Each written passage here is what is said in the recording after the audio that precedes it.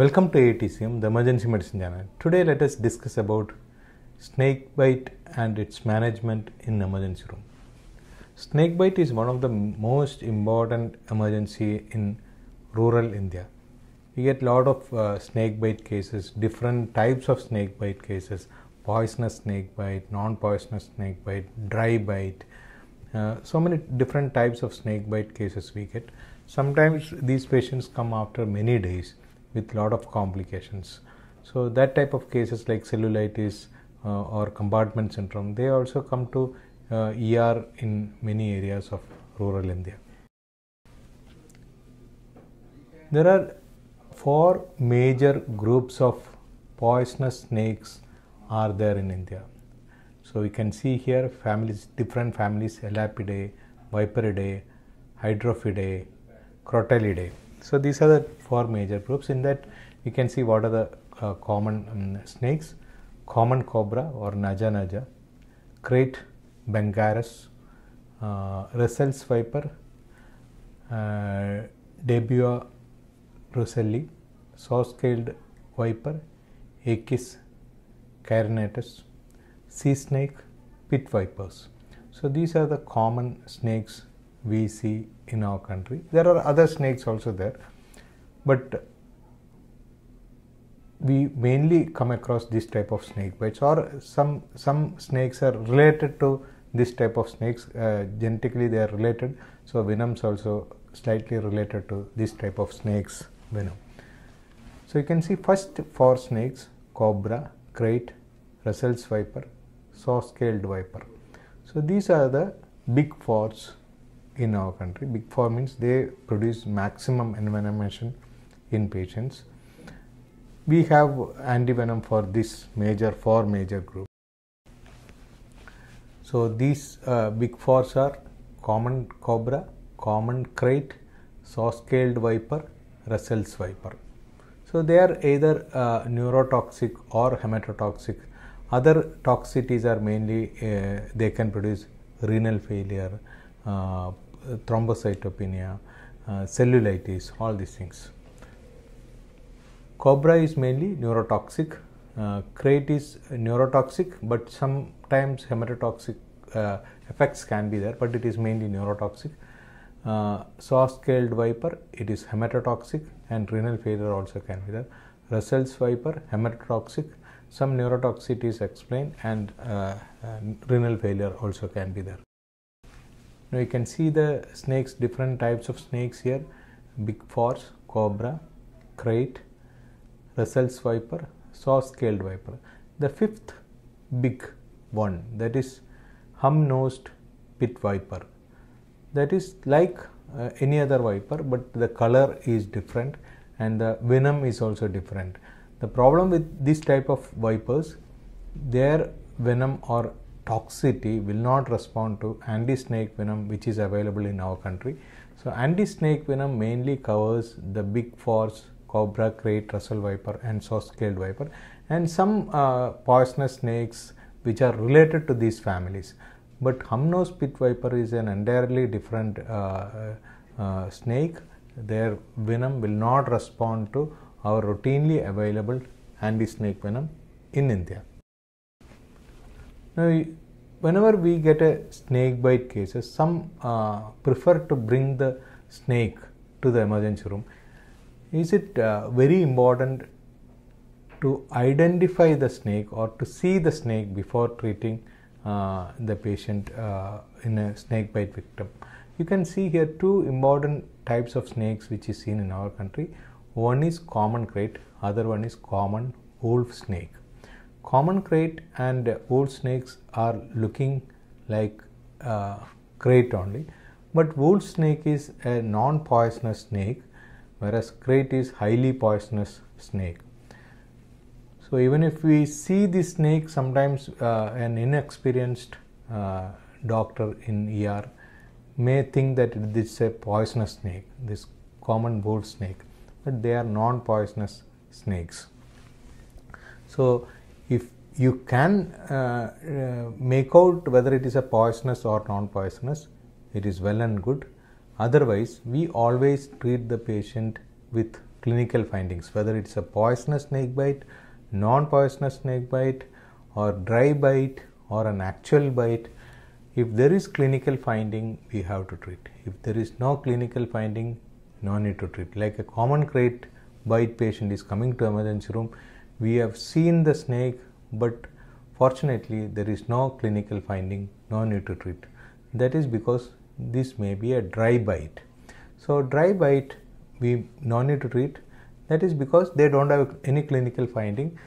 During the bite, the venom might not have entered to the uh, body, or it, uh, the snake might not have injected the uh, venom into the body. So it is not that important to make out whether it's a, to make out what type of snake has bitten the victim or not it is always important to find out the clinical findings in that patient. Clinical judgment is very, very important. Now, next one is fang marks. It is very important to identify the fang marks. You can see here there are two spots with uh, bleeding from the spot. That is a classical snake bite mark. If you see the krait bite, that is a very small uh, needle prick uh, needle prick injury like pattern. Like they are called as hypodermic needles. That means like your insulin uh, needle. It will be very very small so you sometimes you may not notice the bite mark at all. And whereas cobra bite krait bite and all it is large uh, fangs so you get a better visible uh, fang mark but is it important uh, to see the fang mark to treat the patient. That is very important. To diagnose the poisonous snake bite, uh, the fang marks are, are very, very important. But if there is no clinical finding in a patient who is having clear cut fang marks, should we treat? That is a question. Actually, if there is no clinical finding, no need to treat. It can be a poisonous snake bite, the bite may be a dry bite.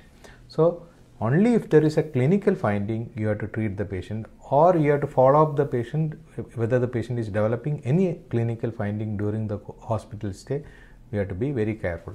But whatever it is if there is a fang mark it is a very very important sign that it it is due to a poisonous snake bite. It can be actual poisonous bite or it can be a dry bite a dry bite no need to treat you have to observe the patient closely watch the patient.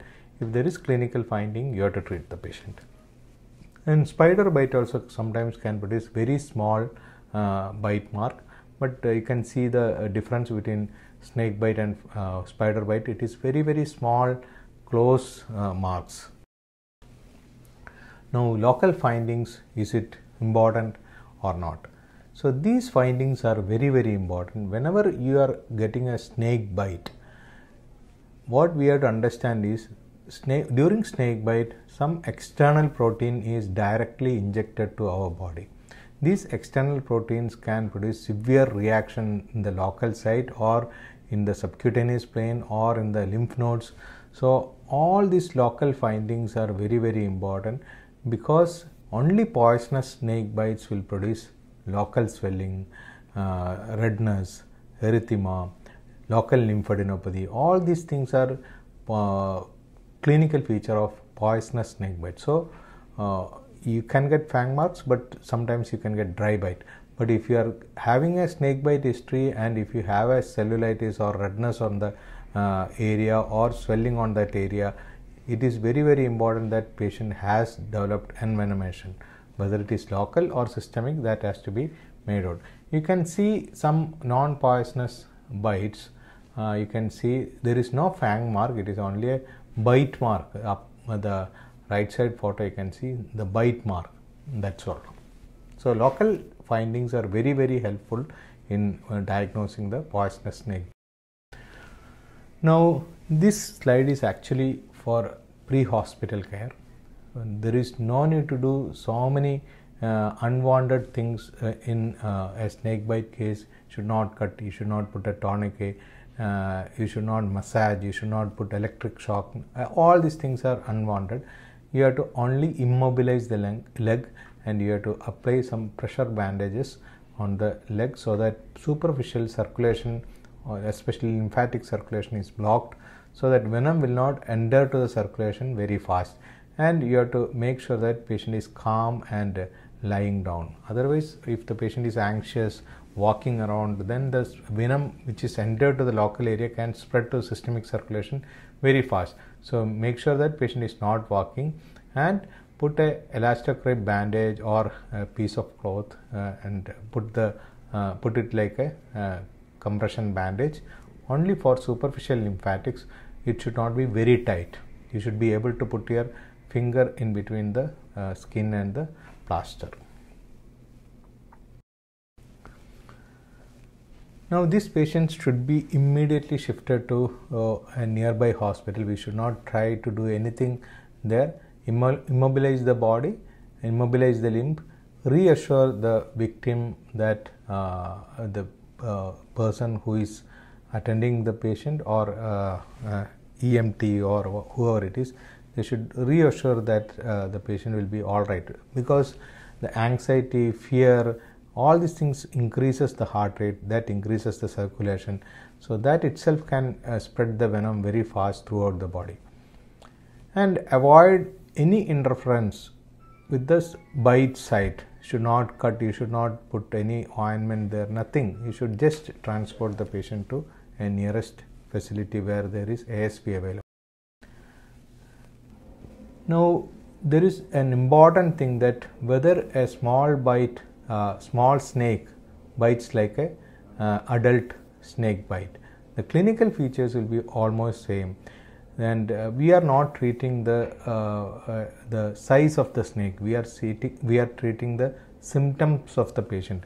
Whether it is a large snake or small snake the amount of uh, venom which is injected may be same sometimes. And the venom in a small snake may be more concentrated and more dangerous so we have to be very careful we are only treating the clinical findings in a poisonous snake bite not the size of the snake size of the snake uh, is not at all important here. We, uh, depending on the clinical scenario only, we will treat the patient. Now, when to treat the patient? Only if there is clinical finding, we are going to treat the patient. So, clinical findings are like this. Patient, we already we have seen the fang marks. Fang marks will be there in most of the cases, but in Indian population, it is very difficult to get the fang marks. Even if uh, fang marks are present, we will not be treating we will be treating only if there is a uh, only if there is a clinical finding but if you get see the snake you can identify if possible you can identify the type of snake uh, if you identify it as a poisonous snake bite it will be better. But if you don't uh, understand the type of uh, snake uh, that's also okay because many doctors may not be knowing the uh, type of poisonous snakes in different areas.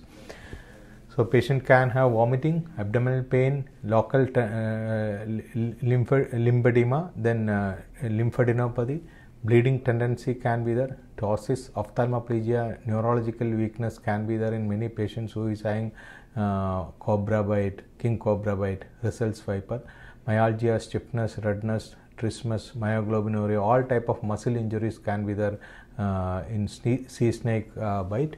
Renal failure is very very common in uh, viper bite. And remember renal failure in hump nose pit viper takes longer time to recover pituitary adrenal insufficiency can be a late complication of snake bite or uh, late means uh, third day or fourth day. It is very common in viper bite.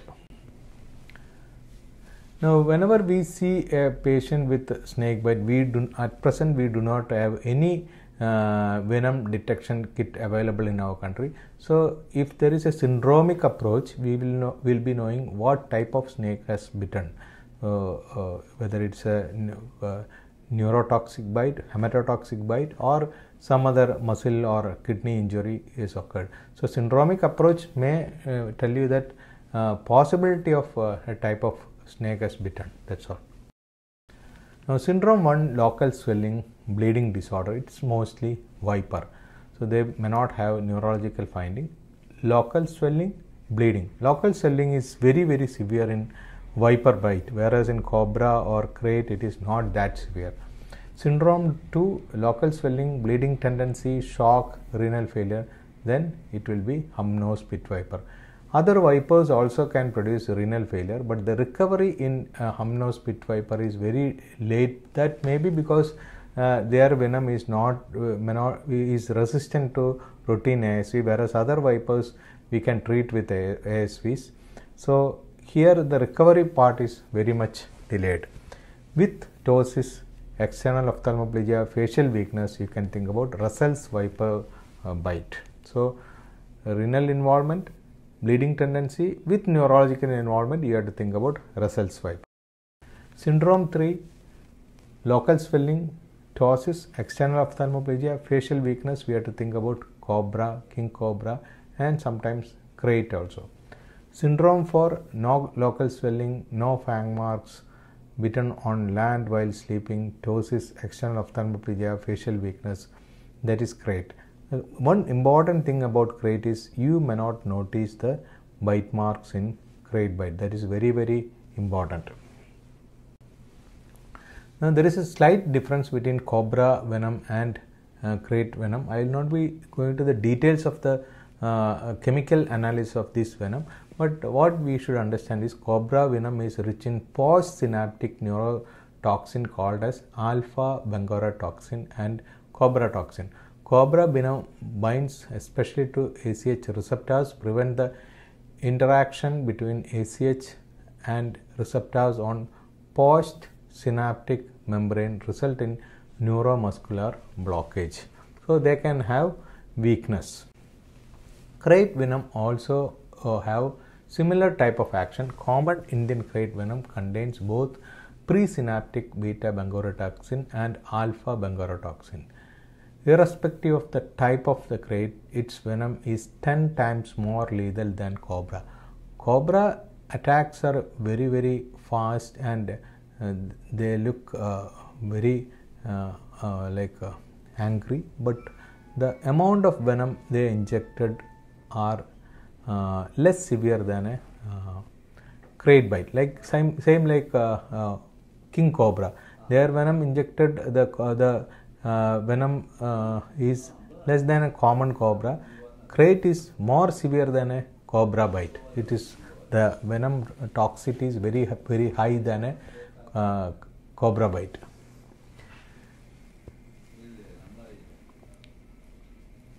So krait venom has great affinity towards presynaptic ACH receptor, whereas cobra postsynaptic, ACH receptors. So there is a slight difference.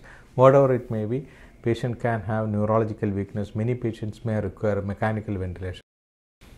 Now syndrome 5 dark brown, brown urine renal failure paralysis bitten on land. That is russell's viper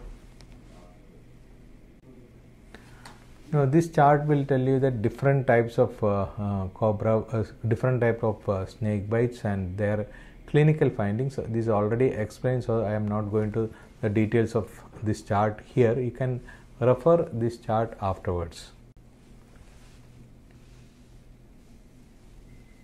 So there are some clues for severe envenomation. Snake identified as very dangerous one rapid early extension of local swelling that is very very important if the local swelling is extended very fast then it is a severe bite tenderness of the local lymph nodes especially in the lower limb it is the uh, like uh, inguinal nodes. Uh, early symptoms of symptoms like hypertension, shock, nausea, vomiting, abdominal pain, headache, heaviness of the eyelids, all these things are very important.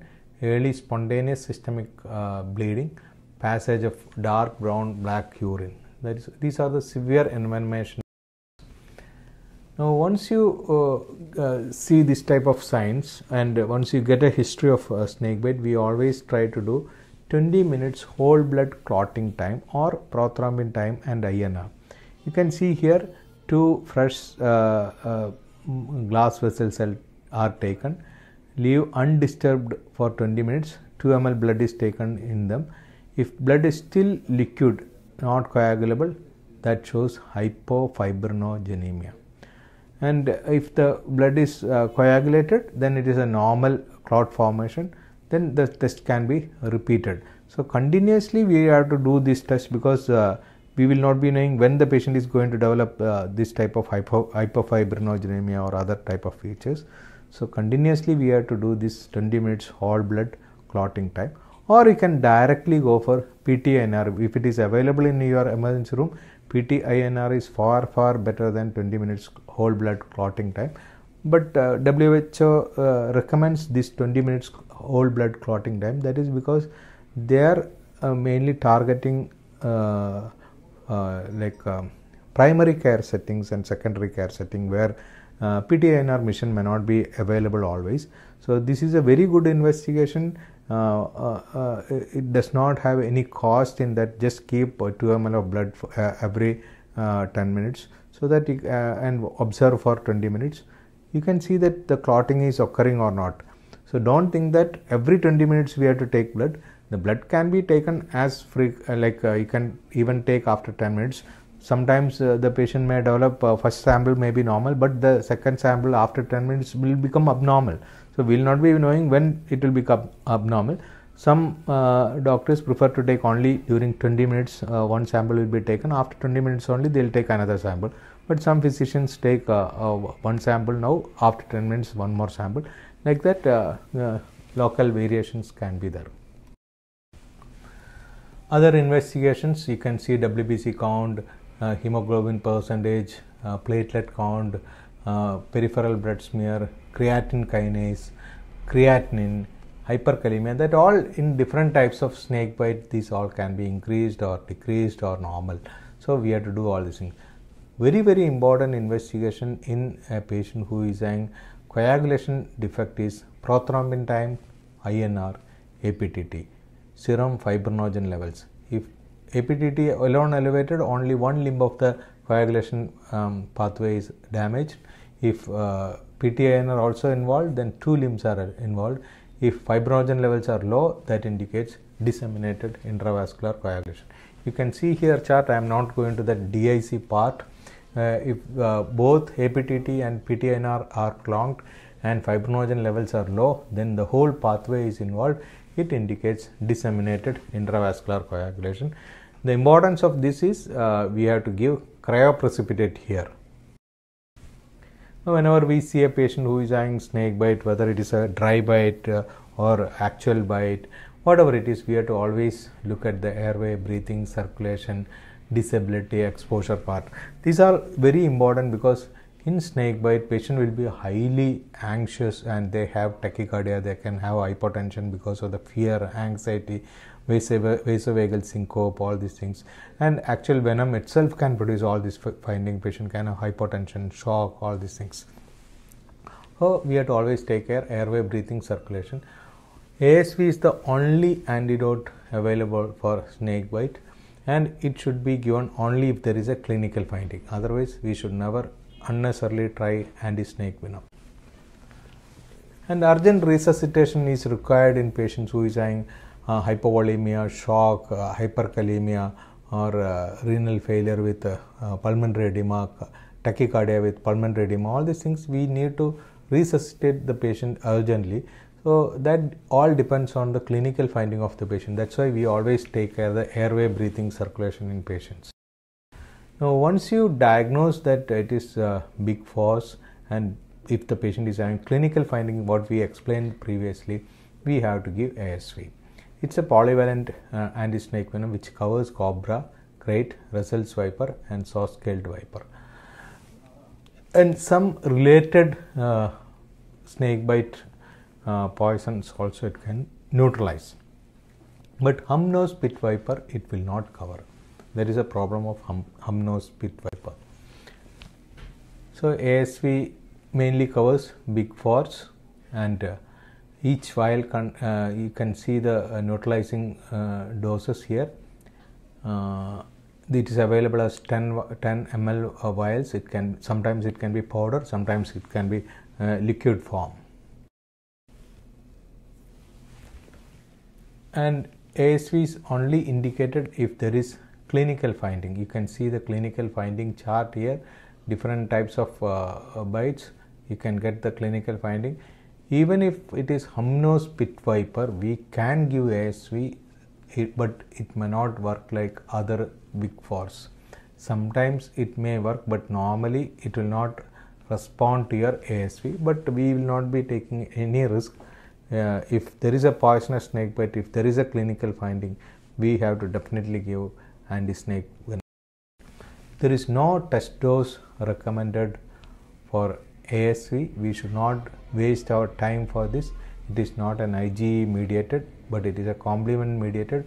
So test dose sometimes can produce risk of reactions. So we should never give any test dose for AS.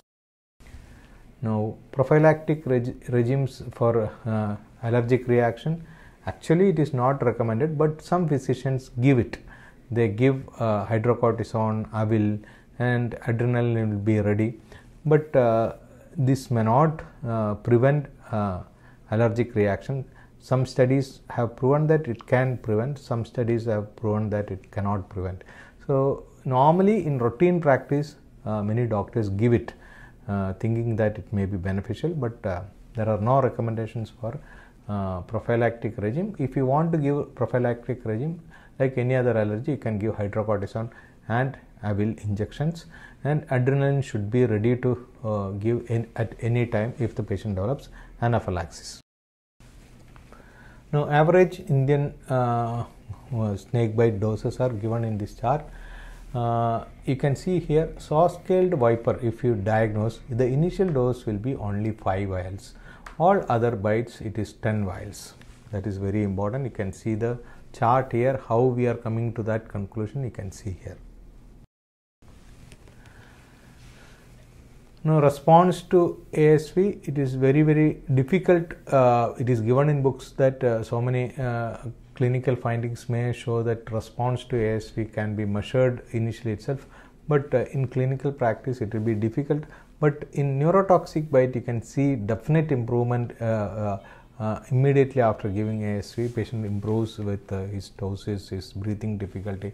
But whereas hematological, this one, hematological problem, it always take uh, 4 to 6 hours to uh, give a good result because uh, all these coagulation product, products uh, produced from liver, it take at least 6 hours to maintain its normal level. So there we need to have some more time to get proper response but whereas in neurological bite it is very fast you can see the patient is improving with your ASV. Now how long ASV can be given? Normally whatever ASV you decide whether it is 5 vials, 10 vials, 20 vials it has to be given as fast as possible because they are going to neutralize the venom. Once the venom go and attach to the target sites we will not be able to neutralize the venom but in some patients they, if they come with uh, continuous symptoms for a prolonged period it can be given up to 2 to 3 weeks but as a normal rule we will not be doing like that. A patient coming with snake bite if you find out that it is a poisonous snake bite immediately give ASV within uh, first day itself we'll we'll have to finish the actual dose whether it is 20 vials or 30 vials we have to finish it. More than 30-35 vials are not recommended in any type of snake. Now, if the patient uh, have got a, a, patient has got a neurological problem, you have to give atropine uh, with neostigmine.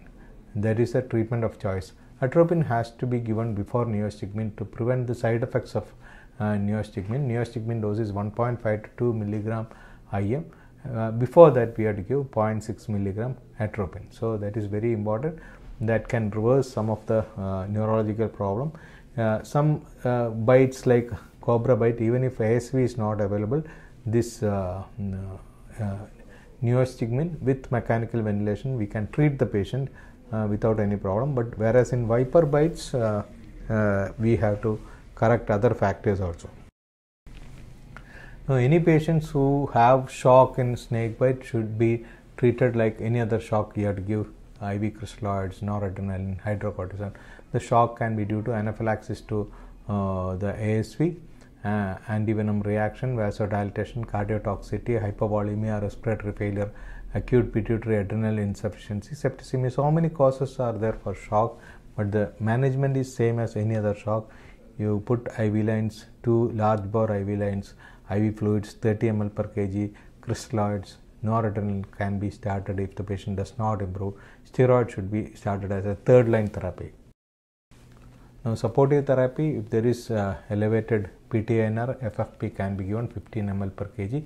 If there is low uh, fibrinogen levels less than uh, uh less than 100, then you can give cryoprecipitate 10 to 15 units of cryoprecipitate for every 2 to 3 units of FFP is sufficient to correct the hemostasis or 1 to 2 bags cryoprecipitate per 10 kg. Antibiotics are not really recommended in snake bites, but in patients who is developing cellulitis after a bite, especially in viper bite, they may require antibiotic. Should that should be predominantly an antibiotic which covers the gram positive infection, anaerobic infection.